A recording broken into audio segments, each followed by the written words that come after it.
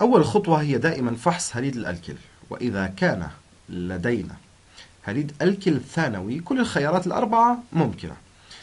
يمكن أن يكون SN1 أو SN2 أو E1 أو E2 حالما ننظر إلى بنية هليد الألكل سنركز على ال nucleophile. ال nucleophile هنا سيكون أيون كبريتيد الهيدروجين إذا هو مشحون بالسالب. الكبريت سيعمل ك nucleophile. لنصنف ال nucleophile إذا ما كان قلوي قوي إذا ما كان قوي أو ضعيف. ونعلم مسبقا أن هذا مثال عن ال nucleophile القوي والذي يجعلنا نفكر أنه قد يكون هذا مفتاح. لنعرف أن هذا تفاعل SN2 لأن آلية ال SN2 تتطلب nucleophile قوي. هل أيون كبريتيد؟ الهيدروجين هو قلوي قوي أم ضعيف؟ هو قلوي ضعيف.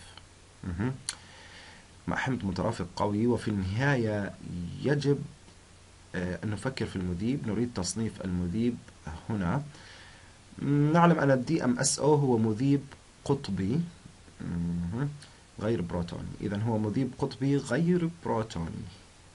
ونعلم أنه يفضل آلية ال SN2 بما أنه يزيد من قوة ال nucleophile إذا لدينا لدينا هنا مفتاحين يدلنا أن هذا سيكون سيكون تفاعل SN2 إذا سنرسم المنتج لدينا كمنتج SN2 ونعلم أن لدينا مركز كايرالي هنا. إذا يجب أن نفكر في آلية تفاعل SN2 حيث أيون كبريتيد الهيدروجين سيهاجم هذا الكربون هنا من الجانب المعاكس للبروم. إذا البروم سوف يغادر. وسوف نضع هنا ال SH لدينا انقلاب للتكوين بما أن هذه آلية ال SN2 نفحص شيء آخر هنا لنستخدم لنستخدم نفس نستخدم نفس المتفاعل البدائي مع مركز كايرالي هنا بهذا الشكل. وهذه المرة سيتفاعل هذا الجزيء مع حمض الفورميك. إذا لنكتب حمض الفورميك هنا وهذا سيكون المذيب وال nucleophile وسوف نسخن هذا التفاعل. لنصنف ال nucleophile إذا حمض الفورميك حمض الفورميك يمكن أن يعمل ك nucleophile لأن هذا الزوج من الإلكترونات المنفردة هي على الأكسجين لكن لا يوجد شحنة سالبة ظاهرة بشكل كامل. إذا سيكون هذا nucleophile ضعيف. إذا سنكتب ال nucleophile ضعيف. والذي يجعلني أفكر في في تفاعل SN1 مباشرة. الحل المحتمل قد يكون تفاعل SN1 عند التفكير في حمض الفورميك كقلوي حسنا هو حمض لذا لن يكون قلوي قوي. وسنكتب هنا قلوي ضعيف أيضا. ومن ثم المذيب في هذه الحالة ال nucleophile هو المذيب. ونعلم أنه يمكننا تصنيف كل الأحماض الكربوكسيلية. كمذيبات قطبية بروتونية. هذا البروتون هنا إذا هذا هذا مذيب قطبي بروتوني والذي نعلم أنه يفضل تفاعل ال SN1 لأن المذيب القطبي البروتوني سيعمل على استقرار الكربوكاتيون الذي سينتج. إذا إذا سنحصل على الكربوكاتيون الثانوي هنا. ونعلم أن الكربوكاتيون هنا سيكون مسطح الشكل لذا سنفكر في الكيمياء الفراغية لهذا عندما يهاجم جزيء ال nucleophile من جزيء من من الجزيء يمكن أن نحصل على التكوين الأصلي وسوف نخسر بروتون من هذه الآلية. لن أرسم هذا بنفس الوقت وأيضا سنحصل على سنحصل على واحد من انقلاب للتكوين سأرسمه هنا مع الانقلاب في التكوين. إذا كلا هذه هي محتملة ويتبين لدينا أن كلا هذه هي enantiomers لبعضهم في هذا التفاعل. وعلمنا أن لدينا منتجين لأننا نعلم أن هذه الآلية قد تمت بواسطة بواسطة SN1 عن طريق فحص ال nucleophile لنفحص نفس المتفاعل الذي بدأنا به. مرة أخرى. إذا لدينا مركز كايرالي مع مع البروم هنا وهذه المرة سنفعل هذا الجزيء مع إيثوكسيد الصوديوم. والمذيب سيكون الإيثانول بهذا الشكل. إذا لنرى إذا كان بإمكاننا إيجاد ما يحدث الآن. مرة أخرى لدينا هاليد الألكيل الثانوي سنصنف ال nucleophile وأنيون ال ethoxide هو nucleophile هنا بما أنه ألكوكسيد. نعلم أنه nucleophile قوي. ومرة أخرى ال nucleophile القوي سيجعلنا نفكر أن الآلية هي SN2 و ethoxide الصوديوم من حيث من حيث قاعديته هو قلوي قوي. هو يريد بروتون إذا هو قلوي قوي. وبما أنه وبما أنه قلوي قوي فهذا يجعلنا نفكر في تفاعل الحذف إذا آلية E2 مع قلوي قوي. ومن ثم المذيب ما هو المذيب؟ هو الإيثانول وهو مذيب قطبي بروتوني. هذا سيكون البروتون هنا. إذا لدينا مذيب قطبي بروتوني. هذا سيكون لديه تأثير أساسي على المنتجات لأنه إذا فكرنا بما سيقوم به المذيب القطبي البروتوني هو سيقوم على حلحلة ال nucleophile. إذا لنرسم صورة سريعة لل nucleophile في حالة الحلحلة.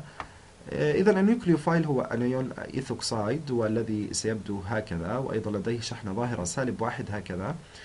ومن ثم يأتي المذيب الإيثانول نعلم أن الإيثانول سيبدو هكذا.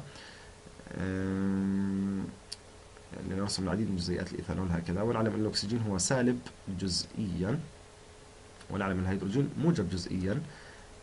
إذا هذا الهيدروجين الموجب الشحنة جزئيا قد يتفاعل مع الأكسجين ذو الشحنة السالبة جزئيا. إذا سيكون بعض التفاعل هنا ويمكن التخيل العديد من جزيئات المذيب حول ال nucleophile عند حلحلة ال nucleophile سيقلل من قوته. إذا الشحنة الظاهرة سالب واحد سيتم موازنتها من قبل الشحنات الموجبة جزئيا وذلك سيقلل من قوة ال nucleophile. وهذا يعني أنه يقلل من احتمالية التفاعل عن طريق آلية ال SN2 إذا هذا يقلل من احتمالية SN2 يقلل من احتمالية SN2 والذي يجعل E2 هي الآلية المفضلة لهذا التفاعل. إذا الآن بما أننا نعلم أنه E2 نحتاج أن نفحص هاليد الألكيل وتحديد نوع الكربونات. هذا الكربون ألفا ونعلم أن هذا الكربون الذي بجانبه هو بيتا نسمي هذا بيتا واحد ونعلم أن هذا بيتا اثنان إذا يمكن أن يبدأ التفاعل بواسطة القلوي. يأخذ البروتون إما من موقع بيتا 1 أو بيتا اثنان وإذا فكرنا في موقع بيتا 1 أو واحد أولا إذا فكرنا في موقع بيتا واحد وتناولنا هذا في الفيديوهات السابقة حيث تشكل ألكين ويمكن أن يكون ألكين trans الرابطة الثنائية تتشكل بين كربون ألفا وبيتا. إذا يمكن أن نحصل على ال trans version ويمكن أيضا أن نحصل على ال cis version. ونعلم أن ال trans version سيكون المنتج الرئيسي لأنه أكثر استقرارا من ال cis version. إذا هذا بواسطة آلية ال E2 سنحصل على هذين المنتجين من موقع بيتا واحد ويمكن أن نحصل على منتج من بيتا اثنان.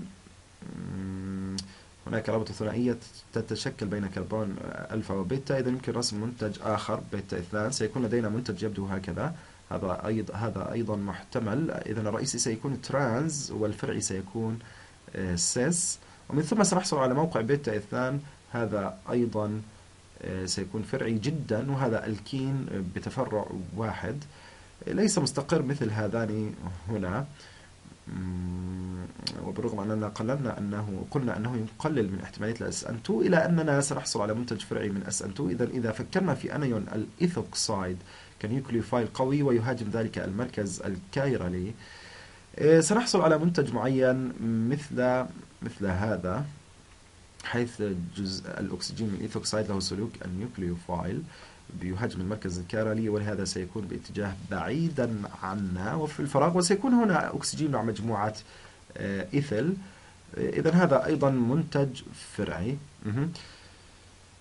هنا وإذا أردنا زيادة النسبة إذا أردنا زيادة النسبة من هذا كمنتج فرعي يمكن تغيير المذيب إذا غيرنا المذيب من مذيب قطبي بروتوني إلى مذيب قطبي غير بروتوني.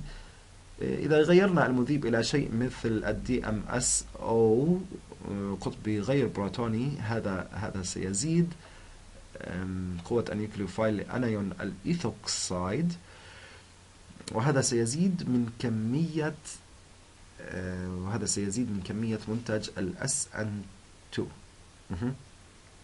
لنفحص مثال آخر. شاهدنا ال SN2 وشاهدنا ال SN1 وشاهدنا ال E2 آه، وأيضا ال E1 هو محتمل بالرغم آه، أنه بالعادة ليس مع حليد الألكل يمكن أن يحدث مع حليد الألكل لكنه ليس عمليا. إذا المكان الرئيسي الذي نرى فيه آلية E1 هو سيكون شيء مثل الكحول الثانوي. إذا هو ليس هليد الألكل إذا إذا بدأنا مع كحول ثانوي مثل الهكسانول الحلقي وأضفنا H2SO4 لا يمكن حتى تصنيف هذا كنيوكليوفايل. وأي شيء كهذا. الفكرة الفكرة هنا هي تمييز الآلية. لدينا حمض قوي حمض الكبريتيك. سيتبرع ببروتون للمذيب. إذا البروتون سيدخل في الأنحاء ومن ثم واحد من الإلكترونات المنفردة على الأكسجين ستلتقط ذلك البروتون. إذا هذا يصنع مجموعة مغادرة جيدة. ال OH لوحدها هي ليست أفضل مجموعة مغادرة حيث تتبرع ببروتون لتشكل هذا هنا مع شحنة ظاهرة موجب واحد على الأكسجين. هي مجموعة مغادرة ممتازة ومن ثم هذه الإلكترونات هنا آه، ستنتقل إلى الأكسجين ومن ثم لدينا الكربوكاتيون في هذه الآلية. آه، إذا مرة أخرى الكربوكاتيون في الآلية يدلنا على أنه آه، سيكون تفاعل حذف E1 وعندما يغادر ذلك الجزء الجزيء فإن القلوي سيأخذ إما الماء أو القلوي المترافق. حمض الكبريتيك يأخذ البروتون من ذلك الجزيء وهذا سيشكل الألكين. إذا هذا سيتبع سيتبع آلية ال E1 بهذا الشكل ليشكل الهكسين الحلقي كمنتج نهائي. إذا هو E1 إذا شاهدنا إذا شاهدنا SN2 وشاهدنا SN1 وشاهدنا E1 وشاهدنا E2 آه، هذا كان صعب نوعا ما. الفكرة مرة أخرى هي فحص كل واحد من المكونات هذه وهي وإيجاد ما هي الآلية الأكثر احتمالا اعتمادا على قوة ال nucleophile. هل ال nucleophile قوي أو هو قلوي ضعيف؟ ولا تنسوا المذيب أيضا. وبالطبع دائما تذكروا أن نبدأ بهاليد الألكل.